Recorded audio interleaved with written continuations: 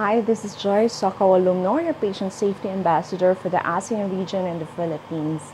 I hope that you will all join us at the Patient Safety Movement as we celebrate the annual World Patient Safety Day.